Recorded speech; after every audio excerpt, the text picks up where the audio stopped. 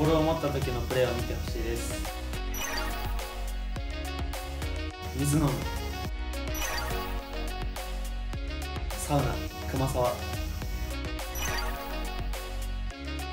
バスケット選手。